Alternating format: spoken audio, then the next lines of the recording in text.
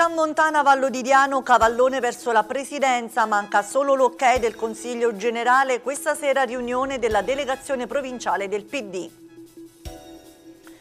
Buon abitacolo, vandalizzata una cabina elettrica con un trattore, paese al buio.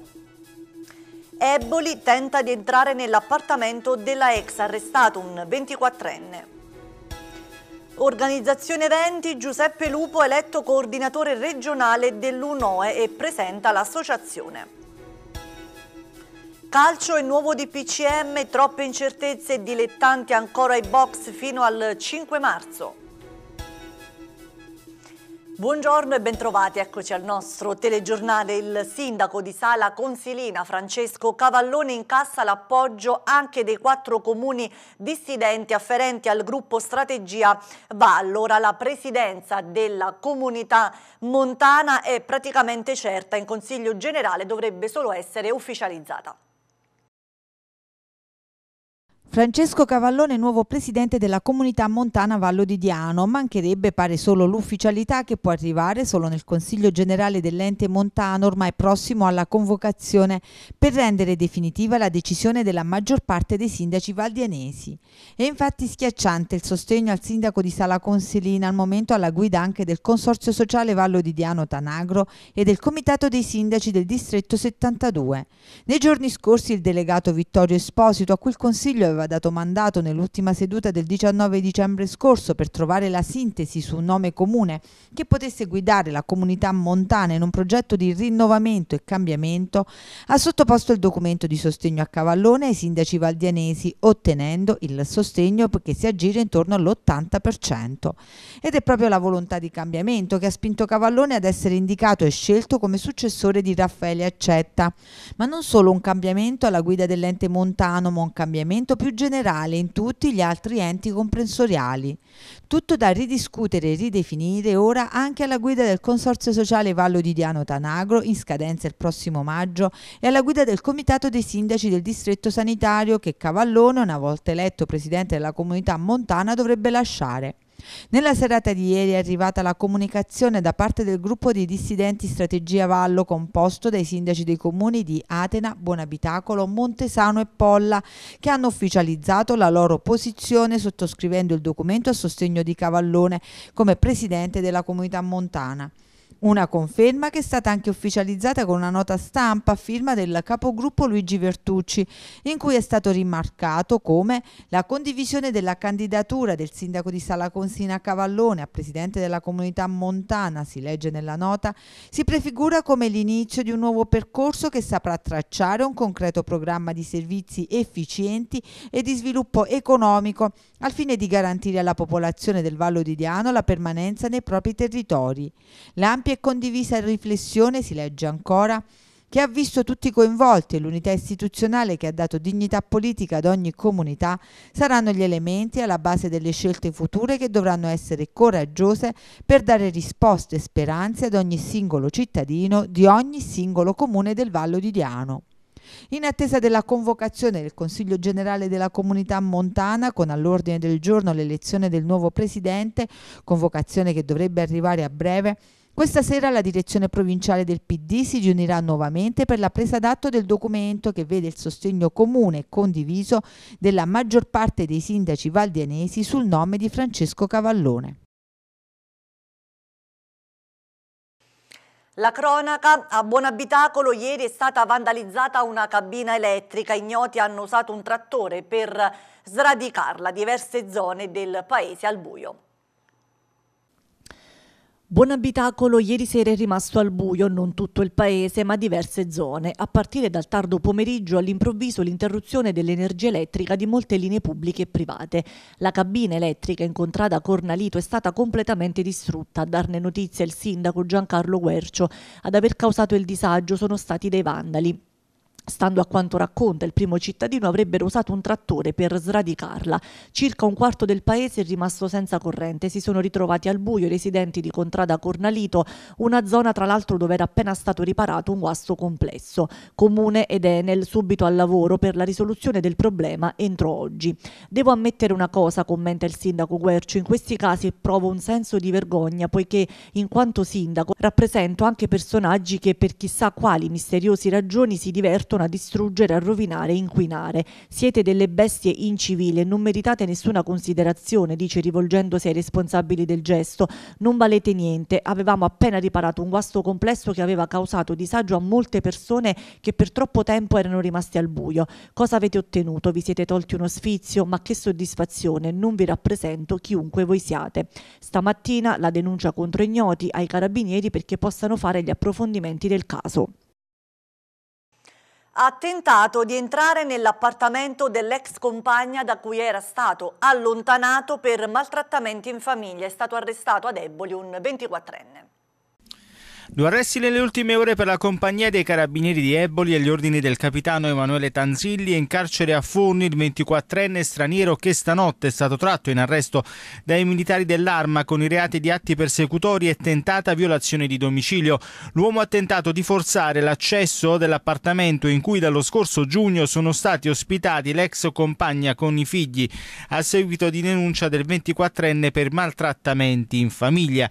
L'arrestato è stato sorpreso mentre mentre tentava di buttare giù la porta minacciando di morte l'ex con i carabinieri di Santa Cecilia diretti dal maresciallo Fabio Basilisco a tradurre in carcere a Salerno il giovane e nella serata di ieri i carabinieri della sezione di campagna hanno arrestato in flagranza di reato un diciottenne del posto incensurato che aveva appena ceduto una dose di hashish ad un suo coetaneo. Nel corso della perquisizione domiciliare a casa dell'arrestato è stata trovata un'ulteriore dose di hashish e un coltello utilizzato per per tagliare la sostanza stupefacente. Il diciottenne si trova al momento ai domiciliari in attesa dell'udienza di convalida.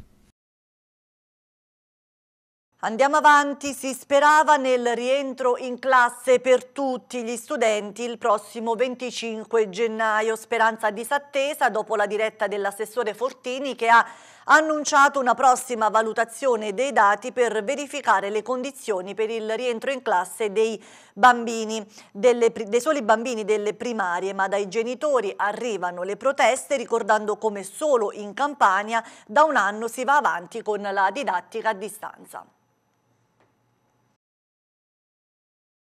Mentre l'assessore all'istruzione della regione Campania Fortini annuncia nuove valutazioni per decidere su un eventuale rientro in classe per il 25 gennaio per le sole classi quarta e quinta delle primarie, escludendo automaticamente il ritorno tra i banchi per i ragazzi delle scuole medie e che frequentano le superiori, si sollevano le proteste di genitori e referenti scolastici che chiedono a gran voce il ritorno tra i banchi rivolgendosi anche alle istituzioni nazionali affinché si possa in qualche modo impedire impedire il prosieguo di una situazione unica in Italia. Solo in Campania, nonostante sia zona gialla, da ormai praticamente un anno i ragazzi non sono rientrati più a scuola, proseguendo il loro percorso di studio solo attraverso tablet o PC, che secondo quanto scrivono dal coordinamento Scuole Aperte Campania non sono neanche lontanamente paragonabili alla scuola. Il nostro governatore, scrivono in una lettera aperta dal coordinamento scuole aperte, tiene a precisare che le scuole non sono chiuse, c'è la didattica a distanza, ma ignora o finge di ignorare che la scuola è un'altra cosa, a tutte le età, ma ancor più per i bambini piccoli. La scuola, proseguono, non è solo imparare chi erano i sumeri o le divisioni a due cifre. La scuola è avere delle regole e un ritmo da rispettare. La scuola è confronto con gli altri, condivisione, autonomia. E tutto questo un monitor non te lo dà. Nella lettera viene inoltre rimarcato come oggi in Campania i bambini sono digitalizzati mentre però non sanno ancora né scrivere né leggere. Ci sono bambini, scrivono, che hanno iniziato la prima elementare e senza saperne leggere né scrivere si sono ritrovati a utilizzare tablet e PC. Adesso sono bravissimi con i dispositivi digitali, contrariamente a quello che noi genitori avremmo voluto per loro, ma non sanno ancora né leggere né scrivere.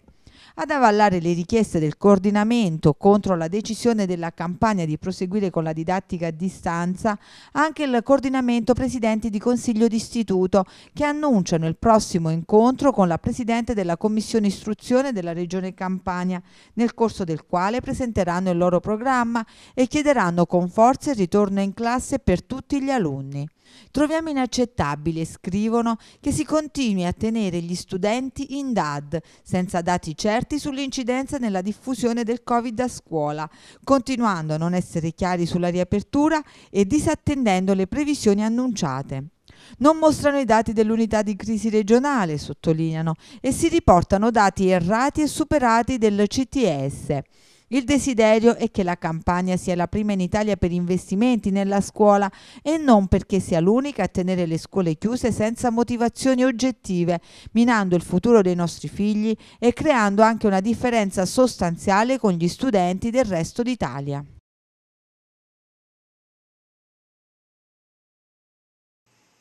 Partiranno a breve all'Istituto Cicerone di Sala Consilina le attività extracurriculari nell'ambito del progetto Scuola Viva, otto modi per vivere la scuola.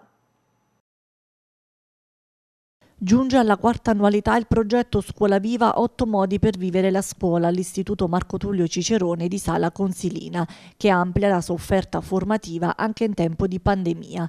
Grazie al programma operativo regionale si arricchiscono i piani di studio con iniziative che abbracciano varie tematiche, spaziando dal teatro alla comunicazione, dall'ambiente alla robotica, dalla storia alla moda, dal marketing alle attività sportive. L'obiettivo del progetto Scuola Viva è quello di offrire agli studenti nuove esperienze didattiche formative attraverso attività laboratoriali extracurriculari con metodologie sperimentali e innovative. Le attività dei laboratori seguiti dai docenti tutor si svolgeranno in modalità online e proseguiranno in presenza nel momento in cui si potrà tornare in aula. Gli otto moduli programmati sono laboratorio teatrale Il Se Magico, tra storia e arte dai San Severino a Carlo V, ruralmente, pratiche di merchandising, ideo realizzo riciclo, Progettiamo il futuro con il BIM, mente sana, corpo sano, mobilità sostenibile, Fab Lab didattico, robotica e Arduino.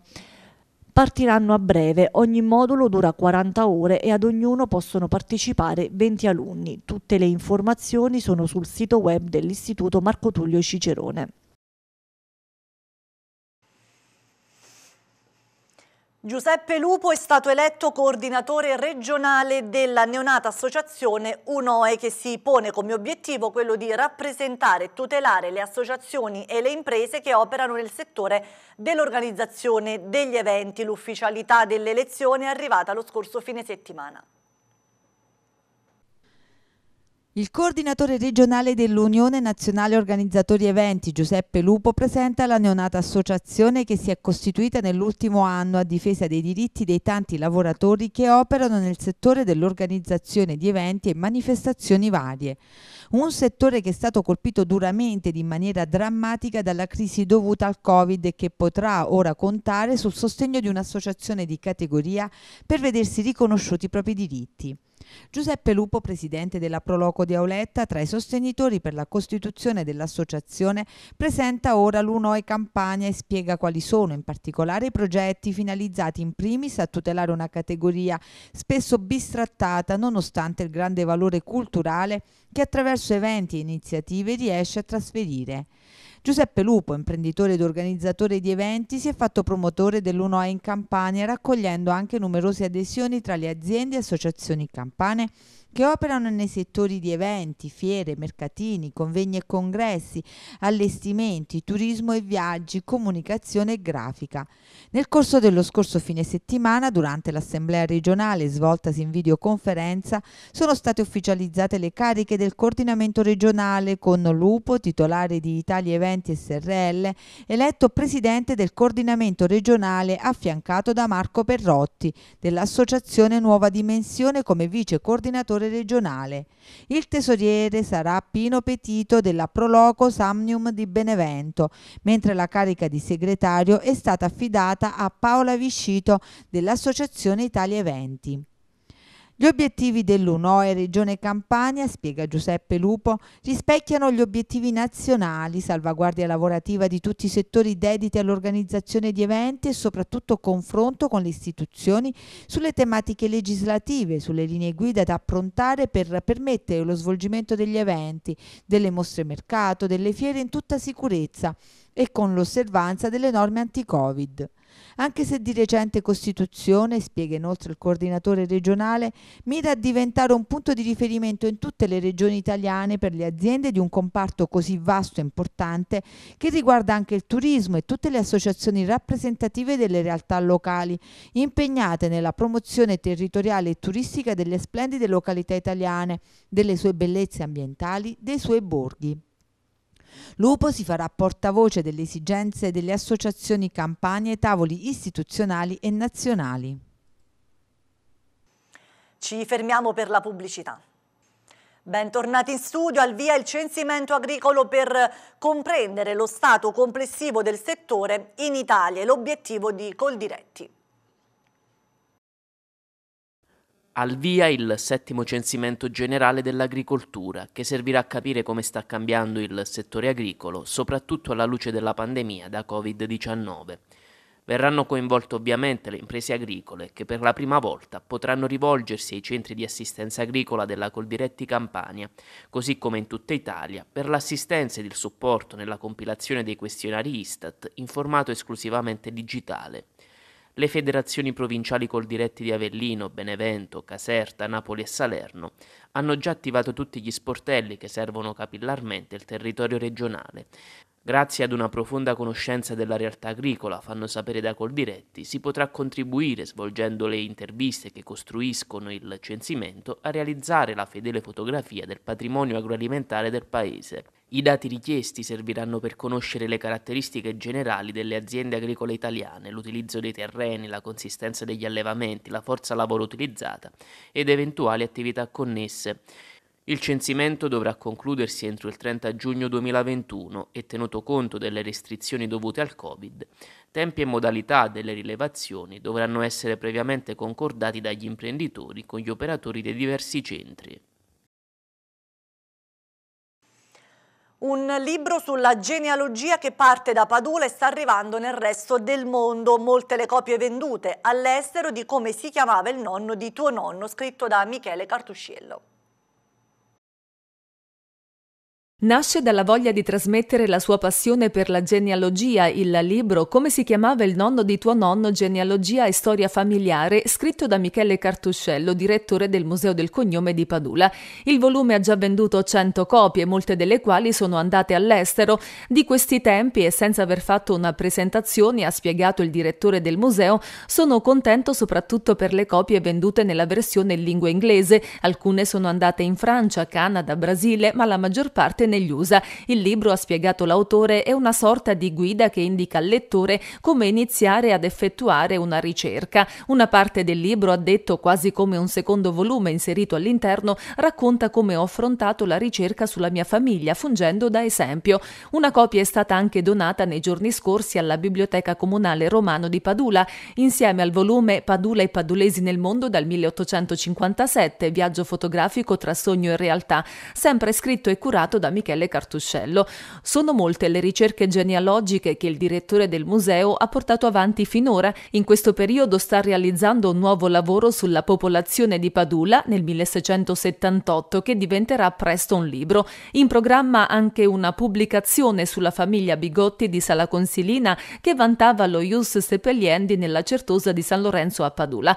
Questa pubblicazione sarà preceduta da una a carattere prettamente genealogica in Brasile sulla stessa famiglia famiglia. E ora lo sport, il recente DPCM prevede la nuova zona bianca che permetterebbe la ripresa del calcio dilettanti, nessuna regione però almeno per il momento vi rientra, si rischia un ulteriore blocco fino al 5 marzo. Il governo ha approvato le nuove misure in vigore dal 16 gennaio fino al 5 marzo confermate le misure vigenti per fasce differenziate, con l'aggiornamento delle soglie dell'indice RT che sarà pari a 1 per la zona arancione e ad 1.25 per la zona rossa. Tra le novità degne di nota, in area gialla lo stop alle 18 per l'asporto dei bar, mentre c'è il via libera per l'apertura dei musei. In fascia arancione invece sono vietati gli spostamenti anche verso le seconde abitazioni. Ci sarà la nuova zona bianca, che dovrebbe comportare un ritorno alla seminormalità con la ripresa delle attività sportive dei campionati giovanili e dilettantistici, anche se al momento nessuna regione avrebbe i requisiti per potervi entrare. Con la prosecuzione del blocco per l'attività sportiva di contatto anche in zona gialla, infatti, si profila un altro mese di stop per tutto il mondo del calcio dilettantistico e giovanile, Uniche eccezioni i campionati di prevalente interesse nazionale che oltre ai professionisti vede per il calcio a 11 della Lega Nazionale Dilettanti, la Serie D, la Primavera 1, la Primavera 2, la Primavera 3 e le Juniores nazionali. Per i campionati regionali e provinciali difficilmente si potrà derogare alle linee guida impostate dal governo e quindi anche per la ripresa degli allenamenti di gruppo bisognerà aspettare che la regione rientri all'interno della zona bianca oppure attendere l'aggiornamento del decreto con la deadline fissata al 5 di marzo. Ed è tutto per questa edizione, grazie per essere stati con noi, buon pomeriggio.